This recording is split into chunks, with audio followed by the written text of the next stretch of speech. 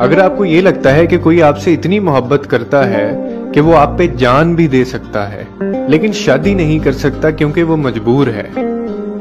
तो आपको चाहिए कि आप अपने मुँह पे दो तीन थप्पड़ मारें और होश में आए।